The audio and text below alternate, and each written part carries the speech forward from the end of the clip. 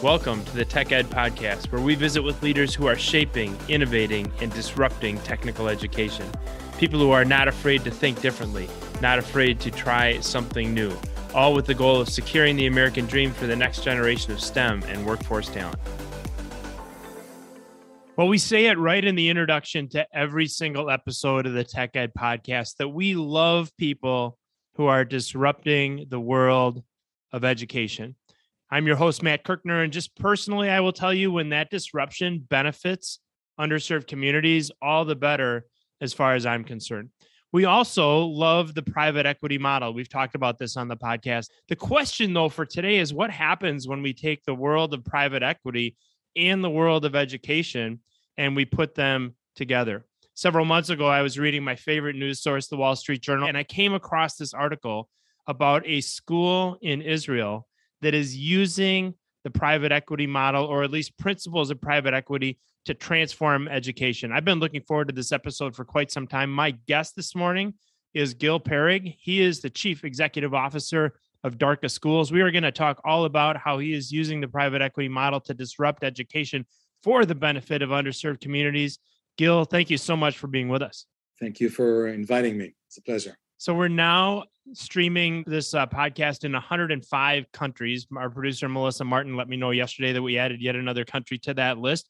And uh, and while we're streaming in 105 countries, it's probably not surprising that a lot of our listeners uh, are in the United States of America. You are in Israel. I know you've spent time in the U.S. If, if memory serves, you were uh, educated at, at Harvard for a while and at Northeastern as well. So you've spent time here. Tell us a little bit about how the education system and approach to education might differ between the two countries. Right. So, so first of all, I think there are many similarities between things that we are facing here in Israel and uh, things that are happening in the US. But if I would uh, highlight two main differences, I would uh, speak about uh, teachers union. Okay which is a bit different, I think, here in Israel than it is in some of the states in the US. Okay. And secondly, is the matriculation system that we use in Israel, which is following the British model and not the US model. Okay. So, begin with the first point, uh, unlike some of the states in the US, in Israel, all our teachers are unionized. Okay. Meaning, uh, our teachers' union is extremely powerful we have one teachers union for high school for high schools and one teacher union for elementary schools and you cannot run a school in israel if your teachers are not part of the union period hmm. and many times when i speak with my peers ceos of charter school networks in the us that many of them work with teachers that are not unionized they are extremely surprised how you can even affect change in an environment that you don't have the flexibility to hire and fire as you can in an environment without unions. So, but for us, as I'm always telling them, these are the rules of the game. I mean, I, I just cannot run a school if my teachers will not be part of the union. And I can elaborate later, uh, if you wish, how we are working with the union in order to affect change, because the schools that we are running are schools that really need change uh, dramatically need change. So this is one point.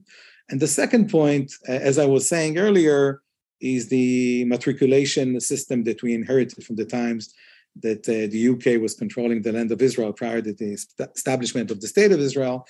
Uh, and this is a system that still exists in many European countries, but does not exist in the US, which basically says that when a student uh, is reaching his senior years in high school, they need to pass a set of around seven exams in a certain grade. And even only if they pass these exams, they will later on get the matriculation certificate, which basically is a testament that they've not only graduated from high school, but they graduated in a way that uh, is controlling a certain uh, body of knowledge. Uh, this certificate is crucial for the future uh, of that student in Israel. Because without that certificate, you can uh, not apply for college, you cannot go to university. Uh, so, so the schools are, in some ways, especially high schools, are surrounding this task of getting this certificate, getting the students to pass these seven exams it sounds like you know whereas in some states here in the united states education is is forced in some ways to right. create itself and direct itself toward maybe a standardized test or, or, a set of standards. Is it is it similar in that fashion? Am i am i getting that right? Totally. So the tests these matriculation tests are designed by the government. They are operated by the government and the entire system in a way is aiming to that to that end goal of getting the students to pass these exams which opens opens of course a lot of discussion among educators. Is this teaching for testing etc and how will we make sure that our students are really ready for the world and not just uh, able to pass these exams? So this is a topic by itself. Yeah absolutely for sure. And, and it sounds like those two you know those two differences at least as you suggest between israel and, and some of the states here in the united states both the organized workforce and and the standardized testing kind of put i guess for lack of a better term maybe some constraints around how you have to approach leading a, an organization like darca schools right. correct? Correct. Yes because the organization was formed uh, 12 years ago by a group of philanthropists many of them coming from the private equity world which we'll get into that in a moment and, and the purpose of this organization, Darca Schools, was really to, to try to solve a problem which is not unique to Israel. But I think in Israel, uh, uh, we see it in a very extreme fashion. And these are the gaps between what we see happening in stronger communities in the state of Israel uh, to what is happening in the peripheral parts of the country. On the one hand, I think uh, Israel has excellent schools in many places. Uh, there is a reason why the state of Israel is is perceived as the startup nation. There's a lot of innovation going on in Israel, uh, a lot of startups being built here, a lot of cool inventions being developed in the state of Israel, and they are all uh, happening because of excellent, I think, teaching and excellent schools. But the confusing fact or the worrying fact is that when you analyze the data, what you actually see that these excellent schools are all uh, located in, in, the, the most successful parts of the country. So there's a clear correlation uh, between the level of the socioeconomic of the community to the level edu- of education that is provided in these communities. So when you look at the poorer areas of the country, you would not find these excellent schools. So, in that regard, when you look at the overall numbers of the country, especially at the matriculation numbers that the country as an average is doing, the numbers are actually very worrying because only 55 or 60% of Israeli students are passing these exams, getting this certificate. And this is an average number. And what it reflects, of course, is the fact that behind this figure stand cities like Tel Aviv, and Ramat Gan and Herzliya and Ra'anana. These are the places in which all these high-tech industries being developed. And these cities are doing 80% matriculation rate, 90% matriculation rate, even higher. And if the national average is around 55 or 60%, that means that someone else is doing 30% or 40% or 20%. And unfortunately, as I was saying, when you look at the numbers and, and the statistics, the answer is very clear. These are the typical peripheral towns of the country the areas in which the poorer parts of society are living in. And for us as an organization, this is something which is, first of all, it's immoral, it's injustice, and it's not sustainable, also, even if you don't care about morality. And uh, the purpose of Darca schools is actually to try to change the, the trajectory of these schools and to show that with fair funding and with excellent management and leadership, these students will eventually achieve at the same level as, the, as their peers in the stronger parts of the country. You know, it's interesting how many parallels there are actually between the story you're telling and what we hear, what we see here in the United States. But you're right; it's not enough to just look at the average and say 55% are passing the matriculation exam. If if you've got 80% on one end and, and 20% on the other, that really speaks to you know the fact that we've got some underserved folks that uh, that really need an organization like Darca Schools to to put them on the right path toward toward opportunities that should exist for everyone, whether that's in the United States or in the in the state of Israel. So definitely interested in in digging into that in a little bit more detail. You know, it, I mentioned in the introduction, Gil, that my experience was all in the world of private equity, or at least a lot of it was for the last, you know, seven, eight years of my manufacturing career. Uh, very, very involved with with private equity partners that helped us accelerate growth. And and really look at where we were inefficient in those organizations. You've touched on, you know, some of the challenges facing education in Israel. Tell us about, you know, how you're finding inefficiencies in education. Do they, do they exist in the same way in education as they might in a manufacturing process where we use the the principles of private equity to to improve? Totally. When I look uh, at these failing schools in the towns that I was mentioning earlier, and tr- you try to analyze what is broken there, usually the answer is combined from two main pillars. The first of all, the first one is funding. Um, the way the system is built in Israel is as follows: the government, the Ministry of Education, is allocating roughly the same amount of money per student per school. Doesn't matter where you live, whether you live in Tel Aviv or you live in a remote Bedouin town or village somewhere in the country, you would get roughly the same funding per student, which is around okay. six thousand dollars per year. Six thousand dollars per student per year. Per year, yeah. Okay. Uh, and when you go into stronger areas, what happens is that the municipality, from its own resources, will then add supplemental budget on top of what the government was allocating, usually 15, 20% more funding to the school. And when you look at the numbers, then you see that actually it doesn't end there because the parents will also participate in adding some tuition and special payments to the school. So eventually the school will enjoy not, not just the 100% funding of the government, but actually extra funding both from municipality and from the parents. But when you go to a peripheral town, what you will see is in theory, you do have the 100% funding, even though we have found in our research that in many of these towns, because they're struggling with so many issues and so many challenges, not even the 100% funding is eventually getting to the school. Not necessarily because of corruption, usually just because of chaotic management of this local tiny municipality that is facing so many challenges and the budget is coming to the municipality. They're trying to do the best they can. And eventually the schools are getting what they're getting, which is not 100% of what the government was allocating initially. Secondly, the municipality itself definitely is not in a position to add additional resources. And of course, unfortunately, the parents are not also in the position to add any more dollars to what the school is getting. So at the end, what you're seeing is a school which is serving or supposed to serve um, in good fashion students that are struggling that are coming to the school struggling because the families are struggling with so many issues. Maybe they have uh, a lot of deficit in what they've learned in elementary schools or prior to that in kindergarten. And not only that you're not giving them more funding to compensate it you're actually putting them in a school which is funded less than a parallel school in a strong city which is completely the opposite of what rationality would tell us should have happened. Right. Makes the problem worse, right? Of course, of course. So this is this is the first problem, which is pure financial. Or we're going to create a situation in which a school in the periphery will not suffer from the funding hit that a typical school in the periphery would get.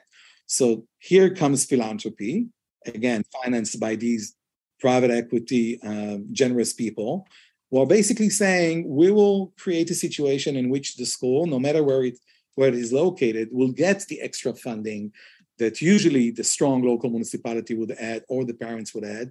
And this is the additional philanthropic investment in that school, which is first of all leveling the playing field. You had suggested that in some cases, not all of the state funding is getting to the student. Are they taking that inefficiency out as well?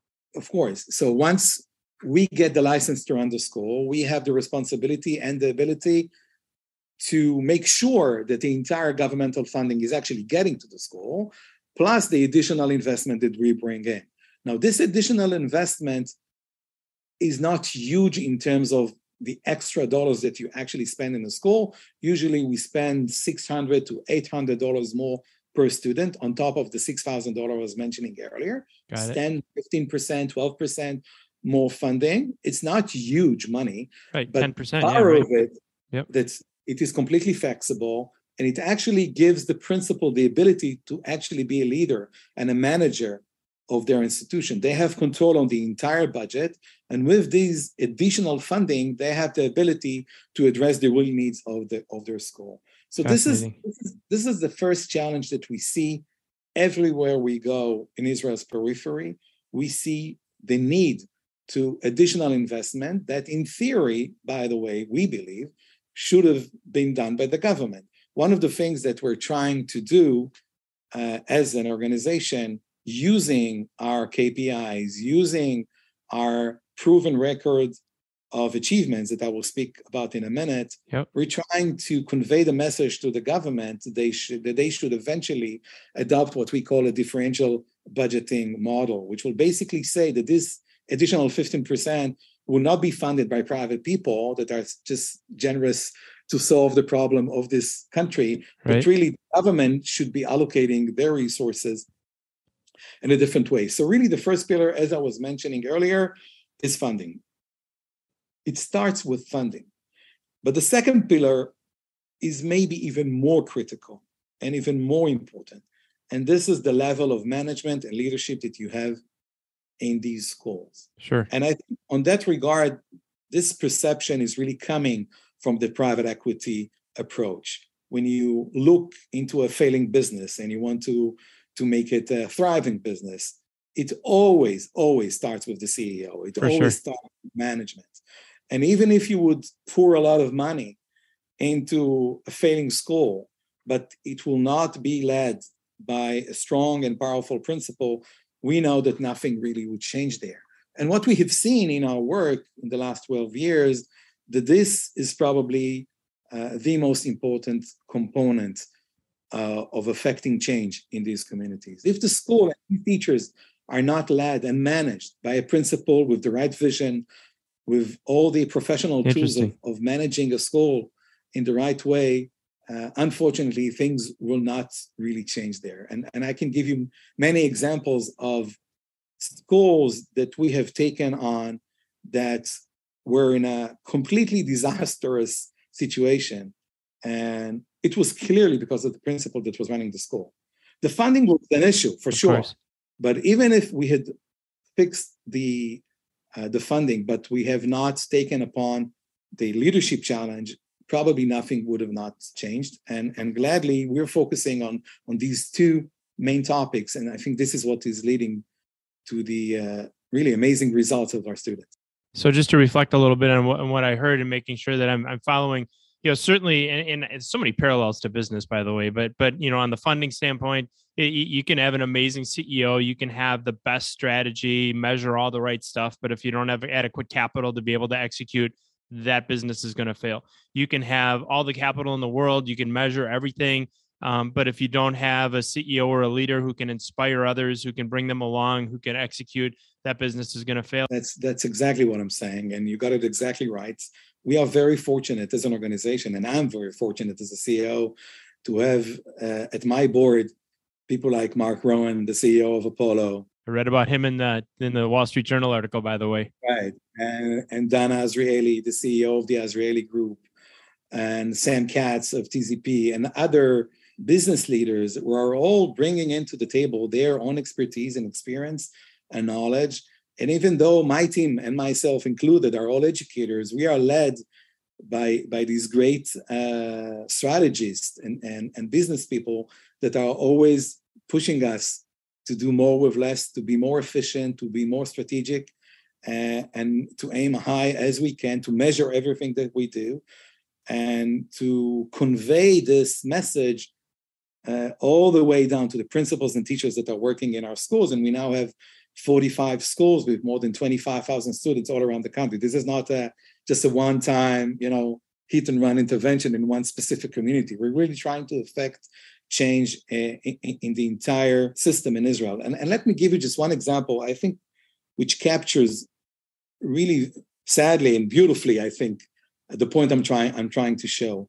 Let me take you back to one of the first schools that we took upon, uh, which was almost 12 years ago in a remote uh, town, small town in Israel, right on the border with Gaza. Uh, we, we walked into that building, and this was really the first few months of this organization. Previously, I was a principal before becoming the CEO of Darca School. I was a principal of one of the best schools in the country. It was great not because of me, it was great for years. It is based in one of the most affluent neighborhoods in Israel, and it was enjoying the things that I was mentioning earlier extra funding, extra management and oversight by strategic people. And my school was doing 96% matriculation rate or something like that. We went on to the, on, onto this school in that remote town. And I sat with the existing sitting principal at that school. And I asked her, uh, what are the data of that school? What are the statistics? What, what have your students achieved in the last summer? And she said 13%. Wow. So you were 96% and this is 13%. Yeah. And, she, and she's 13%. And I was, I was shocked. And, you know, this was my, my early days as a CEO. I tried to be very nice and polite, but still smiling. But I've still asked her, I mean, what are you guys doing here? You, you don't have teachers? Aren't you teaching? Uh, how do you get to 13% matriculation rate? And her response shocked me, sadly shocked me. She felt attacked and she said something in the lines of, Have you seen my students? You're coming here from Tel Aviv. Have you seen the students in my town? And I said, Yes, I've just seen them. They, they look very nice. And, and she was like, They're all, and she was mentioning their background, their uh, race background and stuff like that, as if they, these are poor kids. What do you want from me? In a very racist and prejudiced way. And I was like, what I want from you is to pick your stuff and, and leave the office. You, you're, you're not a principal. You're not an educator. And by the way, you should treat yourself because you, you, you cannot speak about other human beings the way you speak about them. And by the way, I'm not surprised that your students are doing 13% matriculation rate. If the, the head of the school thinks that their students are doomed to failure because they are supposedly not, you know, as adequate as their peers in Tel Aviv, I'm not surprised that they're not doing right. You know, absolutely anything in school. The teachers are not teaching. Nobody is expecting anything from anyone right. in that school. Well, you're expecting failure before you even start. Let me let me add. That's a great story, by the way, Gil. And let me as, as we go a little bit more down the path of Darca schools. You mentioned 45 schools, 20,000 students, if I got the numbers right. Tell us just a little bit more about the structure and kind of how you ended up there. So the process in Israel of actually running a school goes through a tender legal process. High schools in Israel are run either by the local municipality, again, funded by the Ministry of Education, but are actually operated either by local municipality or by a network of schools. If the municipality makes the choice to hand it over to others to manage the schools for them, they would then go to a legal tender process in which they invite networks such as us to be running the schools for them. So the process is usually driven by the mayor or by the leadership of that community that feels that they don't have enough capabilities or professional capabilities to be running the schools. And they're inviting network of schools to be doing this work for them. We're the only pure philanthropic network operating schools in Israel because we're the only network of schools that is not charging management fees or overhead from the government's allocation, not to mention the additional investment that we put in. And we're the only network that is focusing only on Israel's geosocial periphery. So our investors in on that regard are not looking for immediate financial profits. They're they're looking for other probably emotional social profits for, for the community we, we all live in and we all are so grateful to them for, for making this choice. Uh, so they cover our overhead and they allow us to put these additional investments uh, into these schools.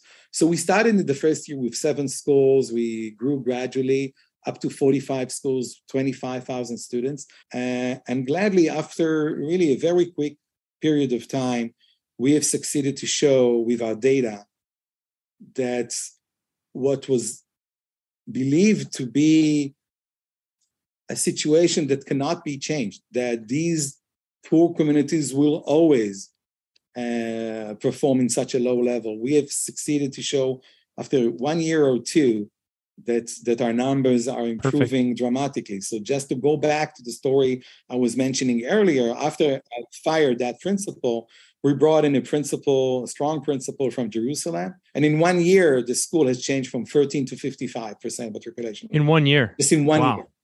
And in one year, you cannot, you know, change everything in school. Yeah, exactly. But, but what you can do is, first of all, set a vision to the school. And they believe that the stu- these students are not, you know, different than their peers in Tel Aviv. And you set expectation from yourself, from your teachers. She set criteria, KPIs. We provided her all the support she needed, and they've improved from 13 to 55. And I'm so proud to share with you that in the last summer, after 11 years, that same school has reached 95% matriculation rate. Unbelievable. With the same student base, the same community. I mean, none of that changed.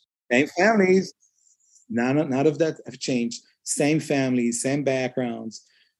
By the way, same level of poverty.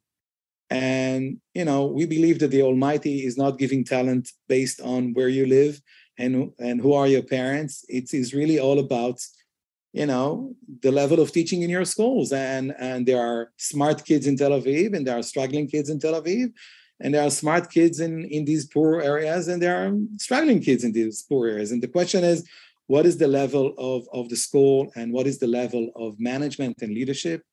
And are you putting these kids to success or to failure?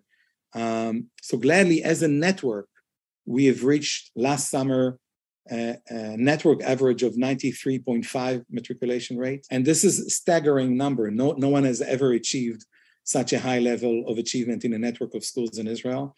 And again, these are all students who live in challenging areas Jews and non Jews, Arabs and Muslims, and Bedouins, and, and Jews and Christians, religious and non religious. We serve all communities in Israel uh, with one premise, with one purpose to offer excellent education uh, to these students and to show that once you fix, as I was saying, the funding of that school and the management of that school, and you introduce innovation into the school, which I'll speak about in a minute, right? Uh, eventually, you will you will see results from these students at the same level of students in in stronger areas. Yeah, those those results are absolutely stunning. When you talk about going from 13% to 55% in a year, um, that's just amazing. So now let's talk about how you do it. You say, well, we've got to make sure that we've got the funding, we've got to make sure that we have the right leadership, but we also know that it takes a great strategy and execution and measuring the right things in order to drive that kind of change. I'm assuming that, but you can tell me if I'm wrong.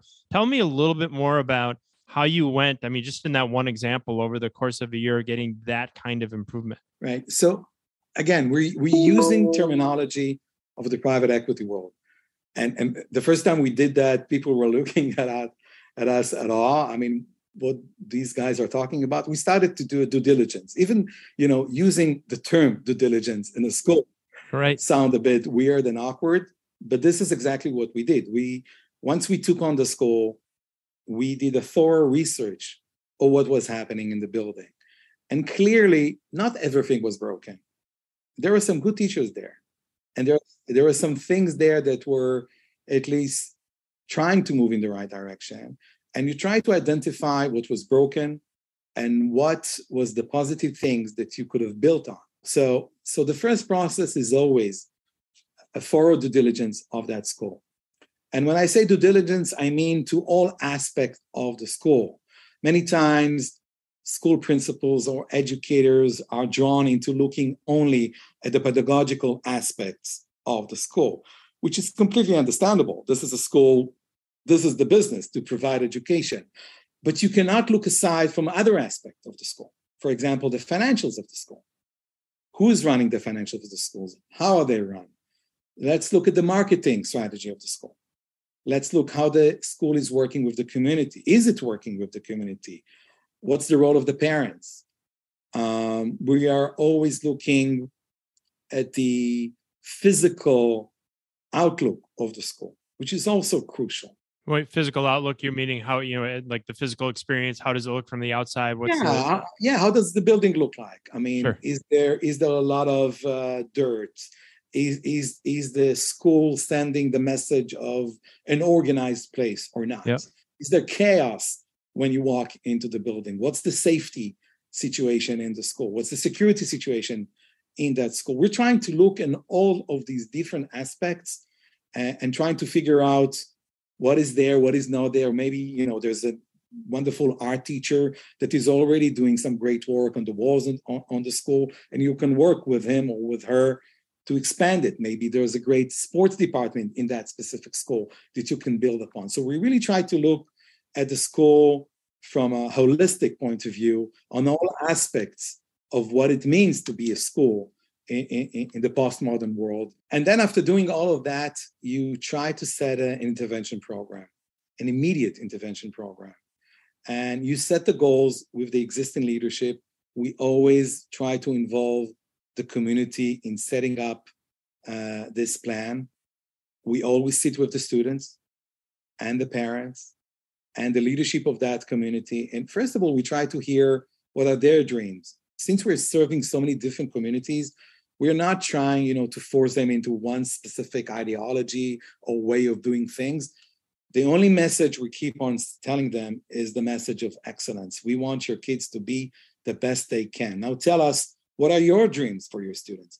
And many times, part of the work that you need to do is really to break a kind of a troubling mindset that this community is stuck in. And it's all about educating the community too, explaining to them um, how will future look like for, for their children and how they need to be prepared. So after crafting this vision together with the community, we then, as I was saying, tailoring an intervention program, which is aiming always both to look at the long term, where they want to be three years from now, five years from now, 10 years from now. But I'm always insisting, we are always insisting to have initial immediate results as fast as we can. Because it's all about, as I was saying, changing the mindset of that community. And we want to walk in into that building promising a message that they will see after a couple of months that is actually happening. We need them to be on board and we need to provide them with these early wins, as we know in business too, in order to create this positive momentum. So again, from 13 to 55 is huge, but honestly, 55 is not good enough. But, but for that community to show this graph and to show them, listen, our students did more than four times better than the previous year. Imagine what will be in this community five years from now, eight years from now. And gladly, we are now showing that is actually happening. And you're building that immediate support right out of the blocks, right? So you've got, you know, now you've got the community, you've shown these these immediate results. People recognize that the system is working. To your point, there's still a lot more to do you know 55% to the 96 or 97% that you enjoyed at the the school you referenced earlier. I want to dig into you mentioned kpis a little bit earlier for our audience. That's key performance indicators another term we use in both private equity and business to say how are we doing? to to figure out what we're measuring. And, and so i'm really curious about as you look at transforming education as you look at reaching the the wide variety of students and communities that that you're reaching you know all of them in in underserved populations in one form or another what are you measuring within the educational institution within the school yeah. to drive performance? so first of all in israel the matriculation figure is critical and crucial. Everybody in israel is speaking about the matriculation average of their town of their school of their own student. This will define what will happen to the student or this community in the future. Will they go to university? To which department they will go so, really, the first KPI is really about that, as I was saying. First of all, we measure how many kids are graduating with matriculation uh, certificates. The second one is dropouts, which, which is extremely crucial uh, because we know that one of the easiest tricks that schools in strong communities are doing, they're kicking out you know struggling students and then our numbers are getting better we are making sure that our principals understand first of all, that they're, they are not allowed to kick away students that are not performing, uh, unless we're speaking about a very violent student that is really harming others. But if a student is not performing, the solution is not, you know, to send them out. So we're looking at dropout rates at the school. We're looking at enrollment, which is also very interesting and very important to understand how the market, so to speak, looks at the school. Our parents are choosing to send their kids to that school, yes or no. And we all are also measuring something which sounds a bit fluffy or not really uh, quantitative, but is very, very crucial. And this is what we call the climate of the school.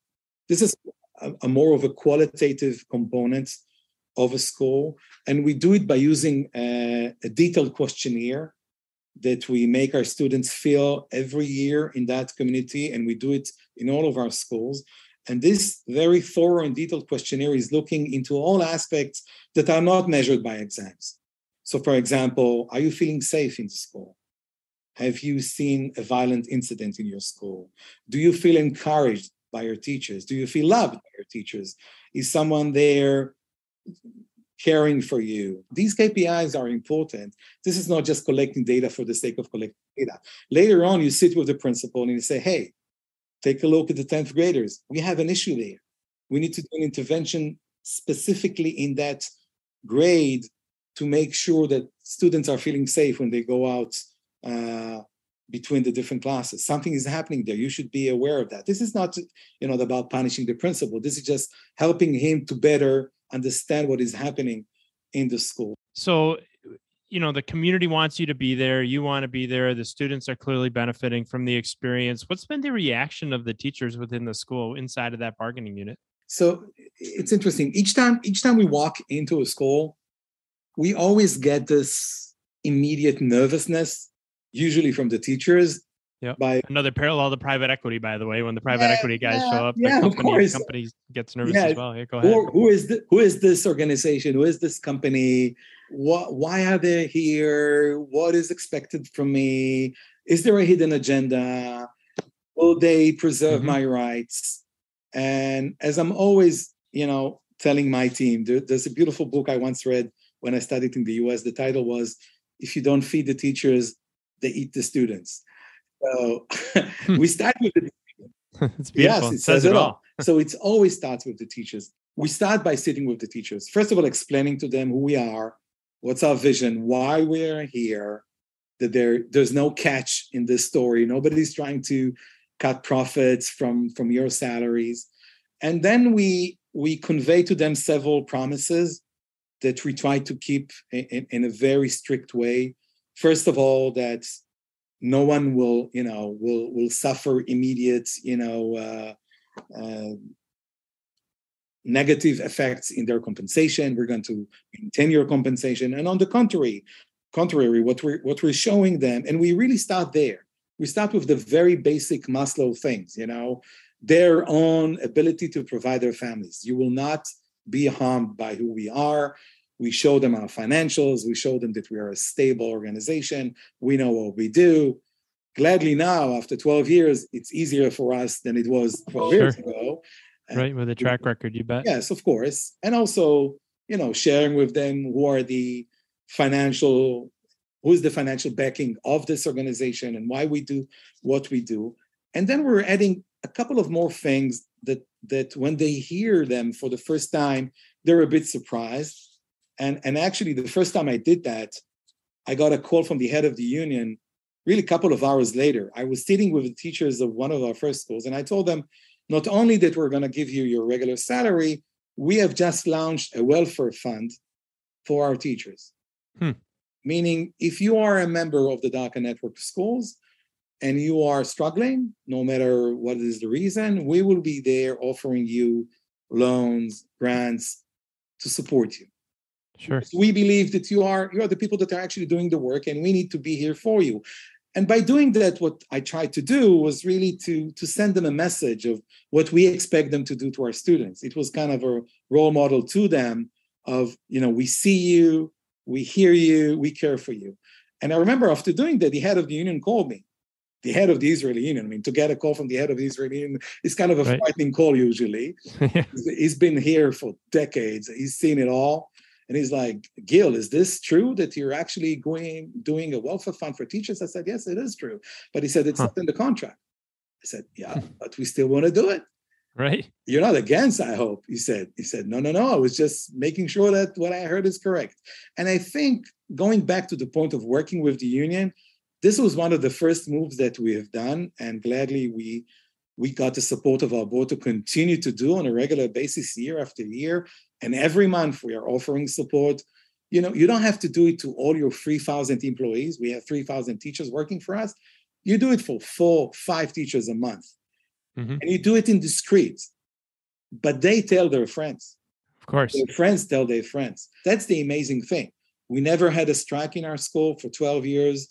And i'm not telling you that it's an easy you know sure. process but at least it, it, we, we have found a working solution that the union respects what we do and we understand we understand the rules of the games as i was saying and, and we have to work within the system another parallel to the manufacturing companies that i ran one of which that i ran for for 10 years was a uh, for most of that tenure was a, a unionized company. Actually, the the union decertified late in that in that process. That's a story for probably three or four podcasts put all together. But but certainly when you find ways to work with the leadership and you share common goals, uh, leadership of the of the union, and certainly in a school, um, you know, it should go without saying that the common goal should be to educate students and create futures for those students. And when you share that common goal, you may differ in some cases on the approach, but if you share the goal and you and you're open to communication and you're successful as you have been, um, obviously then then the the team members, whether that's a manufacturing company or a or an educational institution, are going to come along. I do have one final question for you, and again, I wish we had even more time for for our discussion today. It's been a, a wonderful one, and and you're doing such innovative things.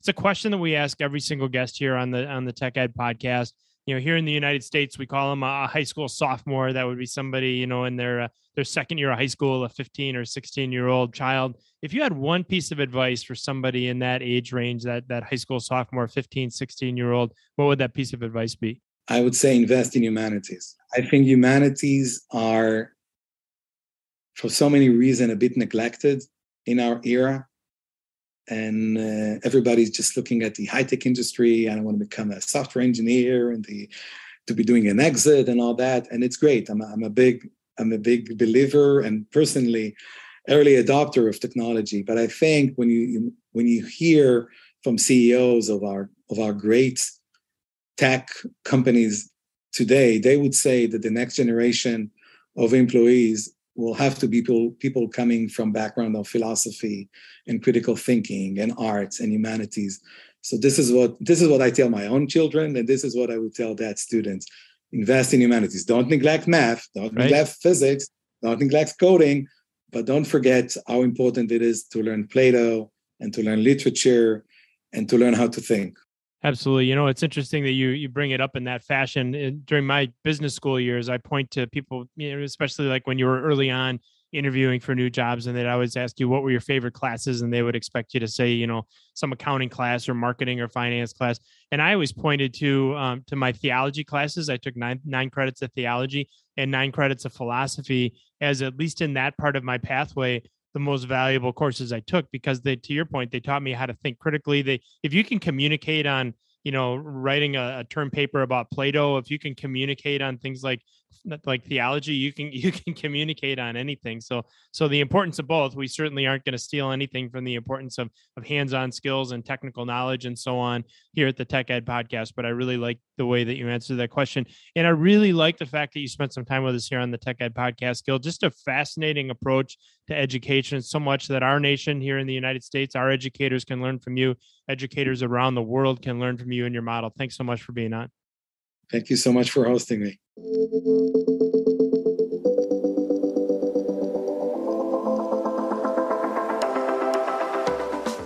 Thanks for joining us for this episode of the Tech Ed Podcast. If you haven't already, subscribe, leave a review, and if you like this episode, share it with a friend. New episodes launch every Tuesday, so listen in next week.